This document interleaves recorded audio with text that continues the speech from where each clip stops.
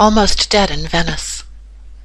I once nearly died in Venice from a lethal cocktail of sleeping pills and champagne that I swallowed on purpose on a glorious blue summer night at the Gritti Palace.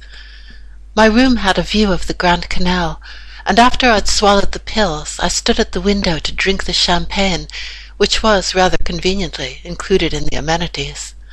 The water of the canal was sloshing noisily against the walls of the palace, and as I grew steadily more drunken and sick, the room seemed to dip and plunge like a beautiful boat. When I was too dizzy to stand, I got into bed, and lay looking up at the pretty glass chandelier that was glowing softly with reflected light. I opened my heart to death that night. I was very happy that soon my life of unbearable sorrow would come to an end. I drifted off to sleep. In the early hours of the morning I was roughly awakened by somebody shaking me and calling my name.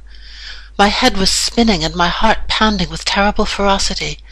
I vomited again and again, then sank back, too limp to move any more. The room was full of light, and I was alone. There was certainly nobody there.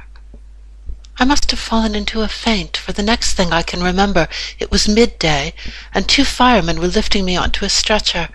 They carried me down the grand staircase of the Gritti Palace, as the stretcher would not have fitted into any of the lifts.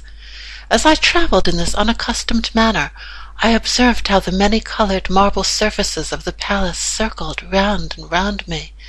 The bright gold and sparkling glass objects all rose up to greet me as I descended, slowly, slowly in my palanquin like an ailing Chinese princess. We emerged suddenly into the blinding light of the sun dancing over the blue water.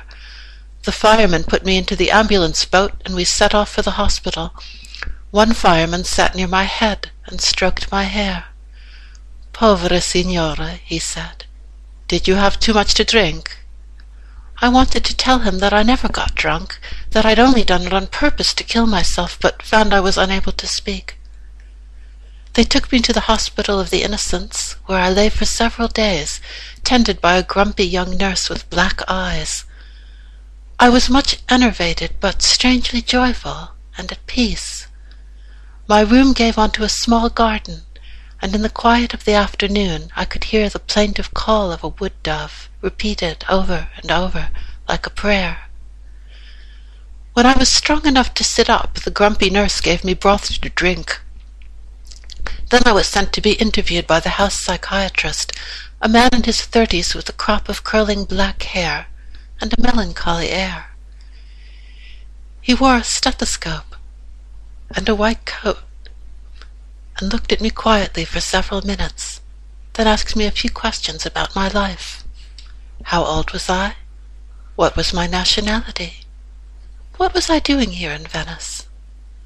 Then he leaned back into his chair, sighed gently, and said, Carissima donna, I can see that you are not crazy. Now tell me, truthfully, why did you wish to kill yourself?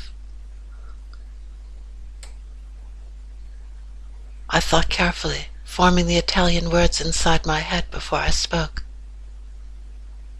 I am in love with a man who does not love me, I said at last, which was not exactly true, but close enough as to make no difference. The truth was far too complicated, as it always is. He nodded sagely. Please, Signora, promise me you will not kill yourself. Not over this man. You need to eat some spaghetti. Then you will feel much better. Will you eat some spaghetti, signora? I told him I would, and we smiled at one another in a moment of delicate, bird-like tenderness. I had never before heard spaghetti recommended as a remedy for heartbreak, but I'd say one could do a lot worse.